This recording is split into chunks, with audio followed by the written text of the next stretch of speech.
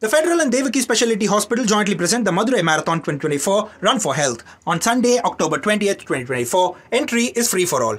Congress leader Konda Sureka's shocking claims involving actress Samantha's divorce have ignited a massive uproar in the Telugu film industry and Telangana politics. Her statements to the press have faced severe backlash from the Telugu film fraternity.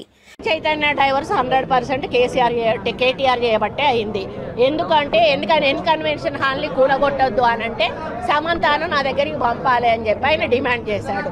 Samantha గారిని వెళ్ళమని చెప్పి నాగార్జున వాళ్ళు force చేశారు. సమంత నేను వెళ్ళను అనింది. వెళ్ళను అంటే వాళ్ళు చెప్తే వింటే విను లేకపోతే వెళ్ళిపోండి డైవర్స్ ఇచ్చారు. అది ఓపెన్ సీక్రెట్. అది అందరికీ కూడా ఇంటర్నల్గా మీడియా వాళ్ళంతా వాళ్ళకి ఎవరికి ఇండస్ట్రీ వాళ్ళందరికీ కూడా తెలుసు Actor Nagarjuna responded immediately, taking to social media to condemn the comments and urging that film stars should not be used to attack political opponents.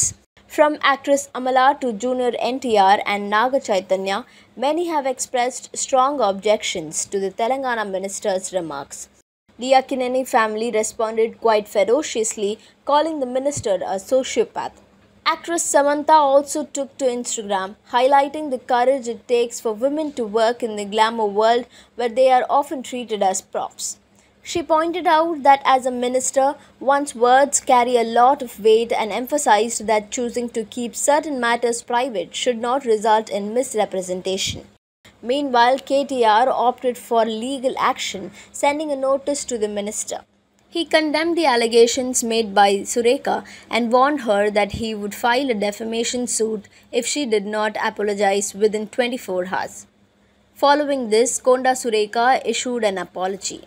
She took to X to clarify her position.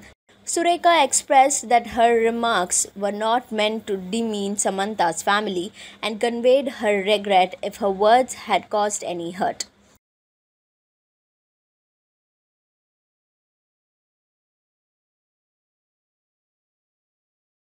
The Federal and Devaki Specialty Hospital jointly present the Madurai Marathon 2024 Run for Health on Sunday, October 20th, 2024. Entry is free for all.